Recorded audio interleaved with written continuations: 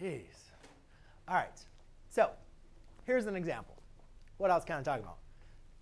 I typically say, guys, solve for t in terms of the x equation, right? Because usually we always want our equation y equals. However, this one doesn't really look that well, right? It doesn't really look fun to solve for x. You can do it. It's not bad, right? But it's much easier to solve for y in this case. Wouldn't you agree? So let's go and do that.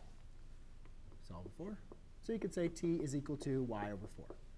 Then we just take that value, what t is, and plug it into our other equation. x equals y over 4 squared minus 3. So y over 4 squared is y over 4 times y over 4, which is y squared over 16 minus 3. So again, we still want to solve for y. So all I'm going to do is add a 3 to both sides. So we have x plus 3 equals y squared over 16. Multiply by 16 on both sides. Just make sure you multiply the 16 times your whole expression.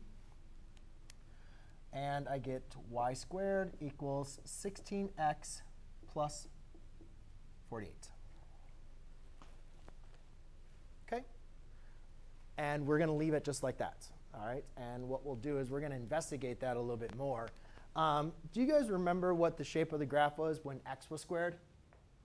Started with the